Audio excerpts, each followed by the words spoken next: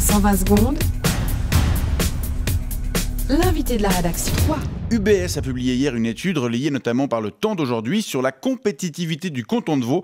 Et selon la première banque du pays, le canton ne s'en sort pas trop mal puisqu'il est classé 9e, juste après Genève, mais il est encore loin derrière le, le champion zurichois Conrad Crisi. Bonjour. Bonjour, monsieur. Vous êtes économiste à UBS et vous avez participé à cette étude qui relève donc que le canton de Vaud dispose d'un bon capital humain, de bonnes ressources et d'une bonne accessibilité, mais qu'il connaît aussi un certain nombre de défauts qui le relèvent vers le milieu de votre classement. Oui, hein. le, le problème du canton de Vaud, c'est qu'il manque de personnalité. De personnalité. Euh, oui, vous voyez, d'un point de vue économique, il manque une identité forte. N'est-ce pas? Quand vous pensez à Basel, vous pensez euh, à la chimie. Euh, Quand vous pensez à, à Genève, vous pensez euh, au trading de raw materials. Les matières premières. Voilà, mais quand vous pensez au le canton de Vaud, vous pensez à rien, n'est-ce pas? Euh, euh, c'est un problème, il, il- il lui manque un cluster. Un quoi? Un cluster. Qu'est-ce que c'est qu'un Euh, cluster un cluster, euh, c'est du jargon économique que vous ne pouvez pas comprendre.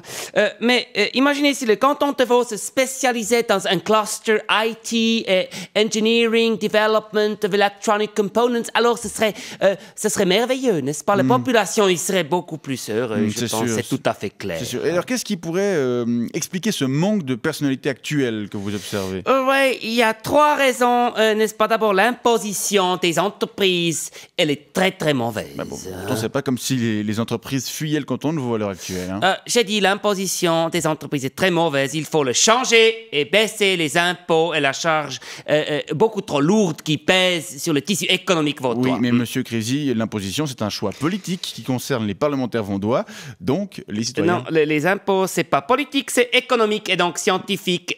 Trop, c'est mal. Punkt, Schluss. Ensuite, les finances publiques sont pas bonnes du tout, n'est-ce pas? Il y a Hmm. trop de dettes, il y a trop de dépenses, il y a trop du gaspillage. Il faut décentraliser. Décentralisé. Décentraliser.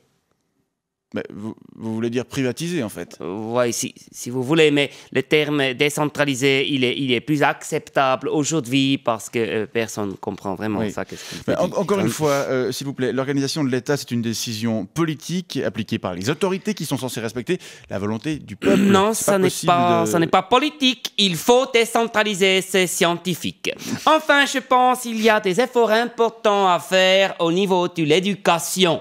L'éducation. De l'éducation. Un économiste peut avoir un avis à donner sur l'éducation. Euh, c'est clair, un économiste a un avis sur tout, monsieur. Un économiste sait. D'accord. Et alors, quel est votre avis sur, euh, sur l'éducation dans le canton de Vaud, par Ah, je pense qu'il faut revoir l'enseignement de la philosophie et de la littérature qui prend beaucoup trop de place dans le planning des students et il faut donner plus de place à l'anglais, Hmm. euh, à la mathématique, et, euh, à l'économie et à l'allemand naturellement. hein. Hmm.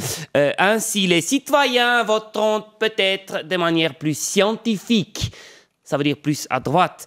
Euh, parce que je vous rappelle que le canton de Vaud est un des plus à gauche du pays. Et je pense que ça explique aussi pourquoi euh, il est dans une, une situation qui le pousse à être mal noté par nous. Voilà. je, je vois. Je Voilà, j'ai terminé mon exposé. Je vous propose maintenant de faire votre extra. Volontiers, Conrad Crisi, je vous remercie d'être venu nous livrer les résultats de cette étude d'UBS sur la compétitivité du canton de Vaud ce matin. Et je vous souhaite une bonne journée. Merci. Et maintenant, vous allez faire ce signe. Euh, D'accord. Allez-y. Maintenant? Comme ça. Très bien.